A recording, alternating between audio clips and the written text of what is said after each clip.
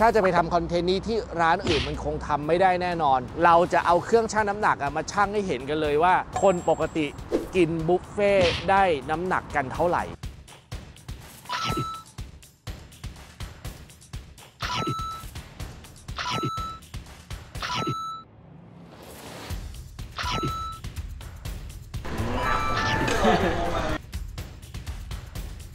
เป็นไงอิ่มยัง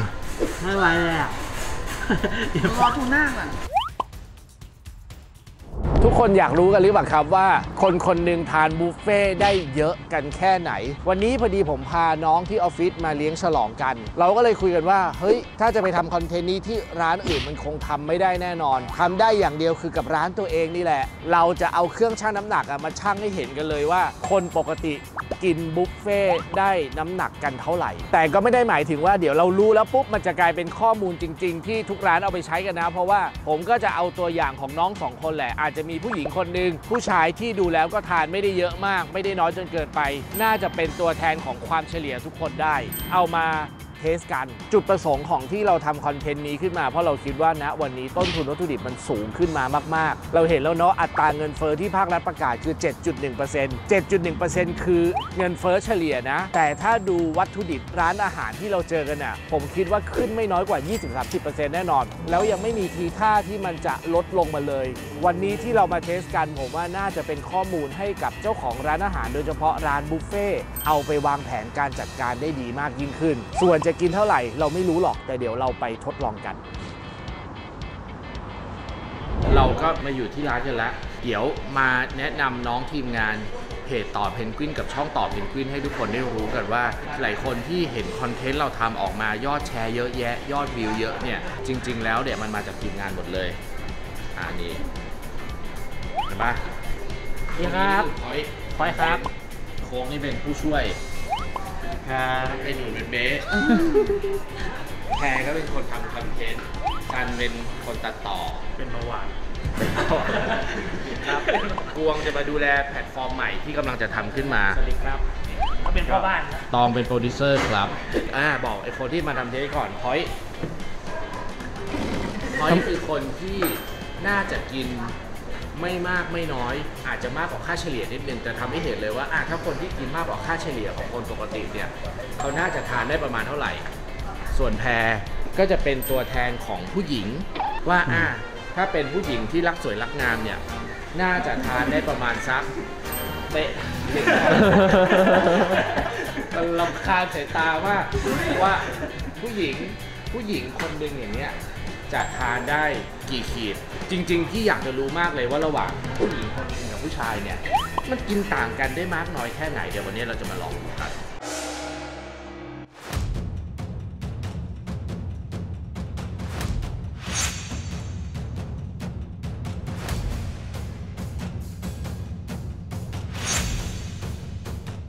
ซึ่งแน่นอนว่าการที่เราจะสามารถชั่งน้ำหนักได้ เราก็ต้องมีเครื่องชั่งน้ำหนักถูกไหมครับ วันนี้ผมก็เลยต้องเอาเครื่องชั่งน้ำหนักของจากที่ร้านเนี่ยขอยืมมาใช้ก่อน ตอนนี้เราเอาของยี่ห้อซันฟอร์ดมา หลายคนที่เป็นเจ้าของร้านอาหารแล้วเวลาเราไปซื้อเครื่องชั่งน้ำหนัก เราก็คงจะนึกสงสัยกันไหมว่า มันต่างกันที่ตรงไหน เดี๋ยววันนี้จะมาบอกให้ฟัง เครื่องชั่งน้ำหนักตัวขวามือตัวนี้นะครับเขาจะเขียนว่า max 5,000 คือเครื่องนี้ชั่งน้ำหนักได้สูงสุดคือ 5 กิโลกรัมหรือ 5,000 กรัม ซึ่งเครื่องนี้ก็บอกเหมือนกันว่า max อยู่ที่ 5 กิโล แต่ความต่างของ 2 เครื่องนี้มันอยู่ที่ความละเอียด เรามาดูที่เครื่องนี้เขาจะเห็นว่าเขาเขียนว่า d เท่ากับ 1 กรัม นั่นหมายถึงว่าหน่วยที่เล็กที่สุดของเขาคือหน่วยกรัม แต่ในขณะที่เครื่องนี้เขาเขียนว่า d เท่ากับ 0.1 กรัม หน่วยที่เล็กที่สุดคือ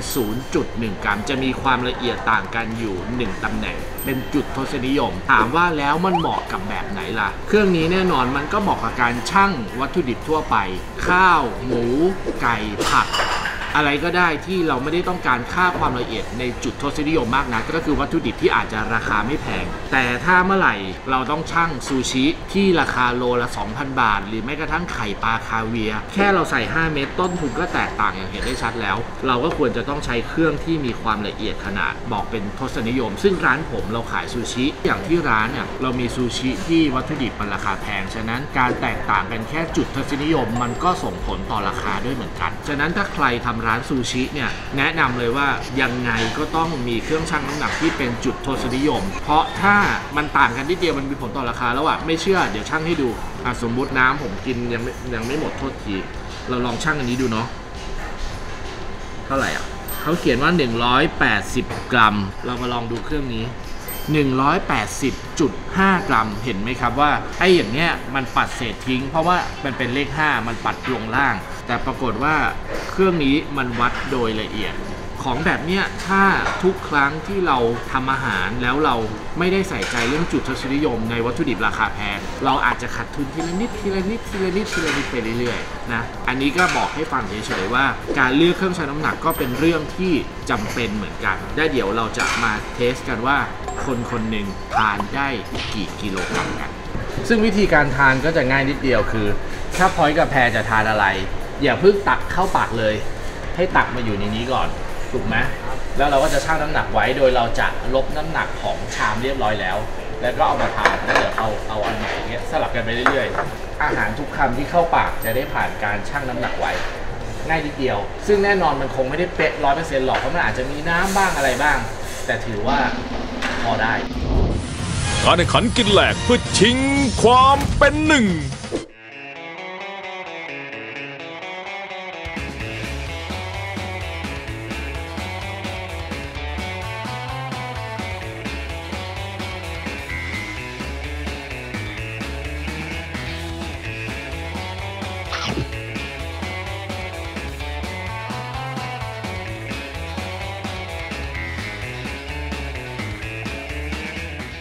เป็นไงอิ่มยัง ไม่ไหวเลยอะรอทูน่าก่อนเดี๋ยวเนี่ยอันสุดท้ายครับทูน่าก็พอละมีของคำหสุวาดท้ายนดูดินี่จบไปเท่าไหร่ละไม่พอทูน่าพี่อะไม่ใช่ทูน่าอันเอนี้อเดี๋ยวกิน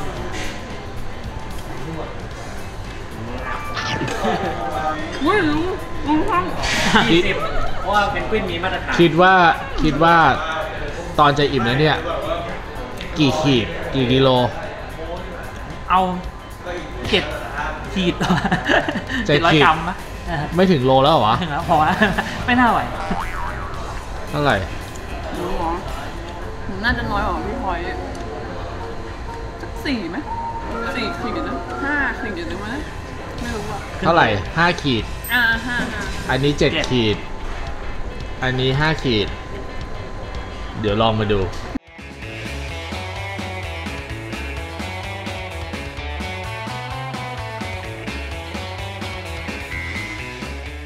มาเรามา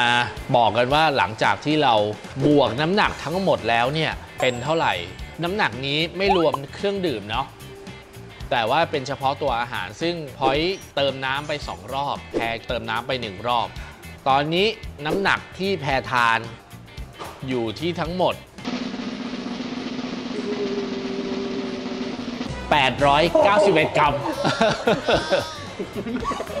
เออกินเยอะจังวะ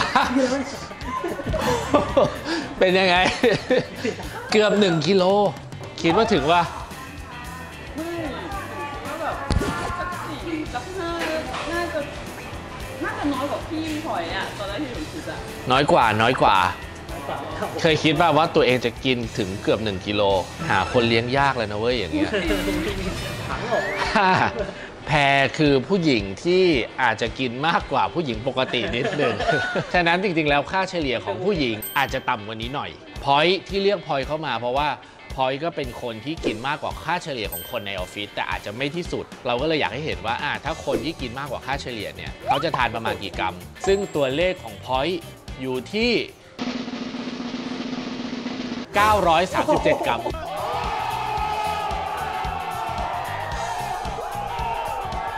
กินซูชิอีก 2คำเนี่ย1กิโลพอดี ซึ่งถ้ารวมน้ำก็คือ 1 กิโลแหละ นี่แหละก็